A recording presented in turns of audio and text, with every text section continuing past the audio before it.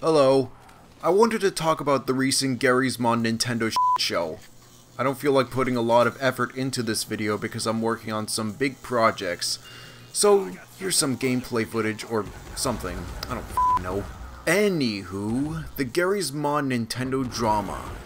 It's been happening since January. Or maybe earlier.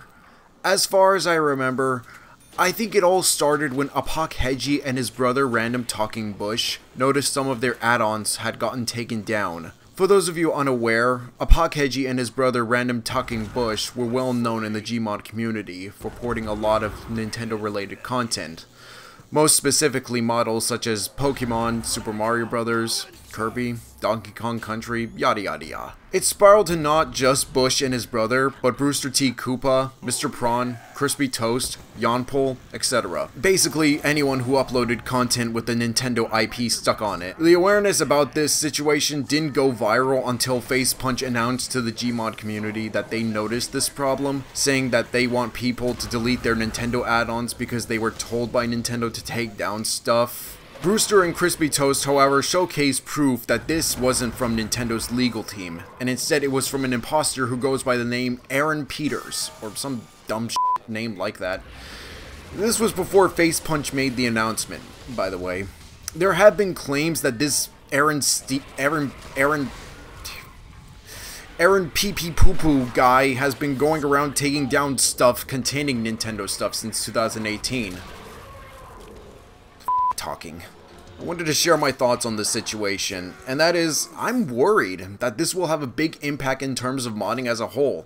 Now, I could be overreacting when I say this, maybe this will change in the future. I think this is a serious situation as people can now easily abuse the Steam Workshop's DMCA system for their unhinged lunacy. This doesn't apply to just Gmod. This applies to every other Steam Workshop, Skyrim, Rivals of Aether, Left 4 Dead 2, Source Filmmaker, Killing Floor, etc. And friendly reminder, it is illegal.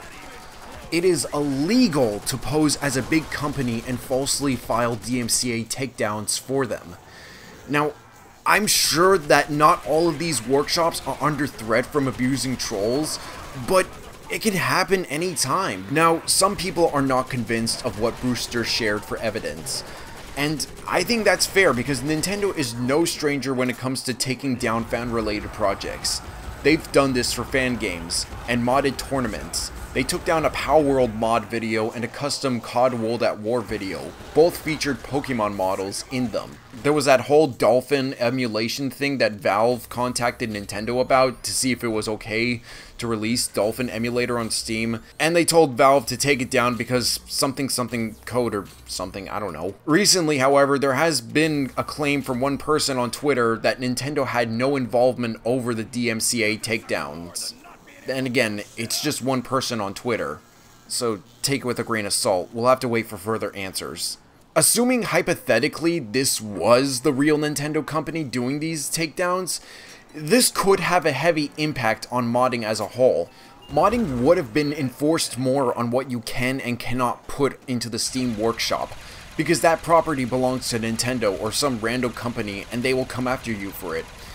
Either way, this is crazy what is happening. I've been modding for Garry's Mod since 2013, I have made a lot of add-ons such as COD Zombies Wonder Weapon SWEPs, a few Fallout 3 SWEPs, I've ported Bionicle models into the game. I never thought to see my friend Brewster T. Koopa mentioned in Charlie White's video, or Know Your Meme.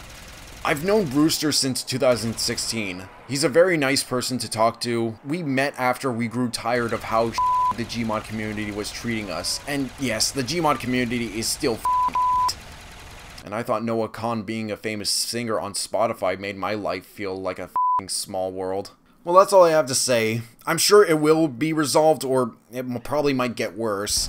I'm not going to make a follow-up video on this topic. I have other things to focus on. I just wanted to address it to help spread this problem with this DMCA abuse that's going on. Share your thoughts down below. Love to hear what you have to say. Please keep the discussion civil and reasonable. I do SFM motion capture videos and I'm currently working on the next one. So if you're interested in that, do subscribe and stick around. I'll see you guys in the next video. Bye.